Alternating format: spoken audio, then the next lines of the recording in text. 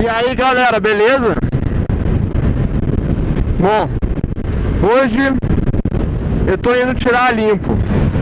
O que que anda mais? Harley Davidson 48 1200 ou CB 650F da Honda.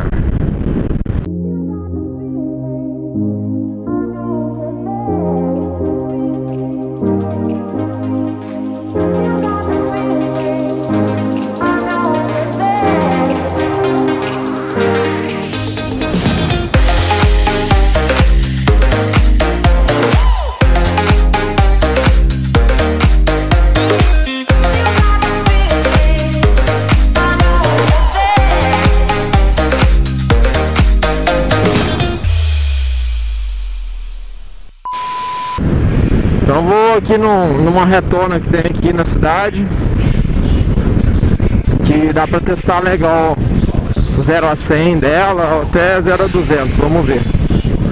É meio curto a reta, então é meio arriscado bater 200 com ela. Mas 160 dá pra ver sim, dá pra tirar. Aí eu já tenho os números da Harley salvos nesse aplicativo aqui do celular Que eu fiz essa gambiarra aqui pra prender ele e aí eu comparo, coloco na tela aí. Então vamos lá. Então galera, essa é a reta. É, tá meio movimentado aqui. É, e normalmente eles colocam o radar aqui na frente. Então eu vou dar uma, uma passada primeiro para ver se tá limpo. E daí eu faço um retorno aqui e venho aqui de novo. Esse aplicativo funciona por GPS. E ele tem vários níveis, né, de, de precisão. Então eu coloquei a precisão máxima, que foi o mesmo que eu fiz o teste com a Harley, para não ter diferença. Então ele demora um pouco para achar todos os, os, satélites, né? Aqui ele já achou. Então ele vai, vai pegar aqui, ó, 60 segundos, um, um quarto de, de milha, né? Que é a corrida de drag, um quilômetro, meia milha, 330 metros, 0 a 100 e 0 a 160. Então ele vai medir tudo isso. Se eu bater 200, ele vai marcar o 0 a 200 também. Então vamos lá fazer o teste. Aí galera, tem até um start aqui, ó. Bom, vamos lá. Então as motos 48 1200 cilindradas, motor V2.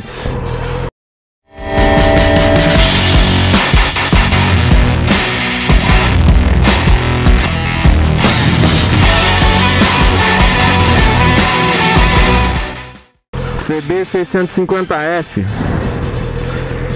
Motor 4 cilindros 650 cilindradas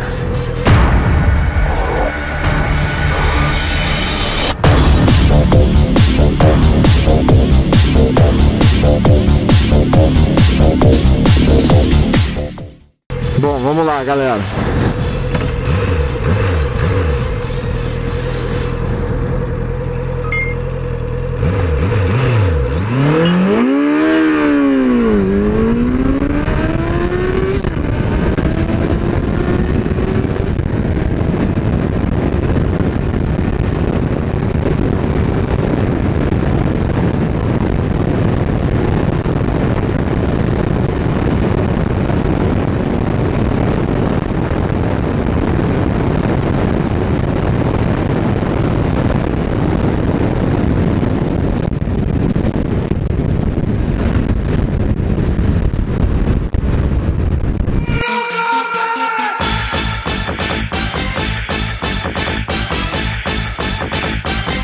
Deu para sentir é que são motos com conceitos completamente diferentes.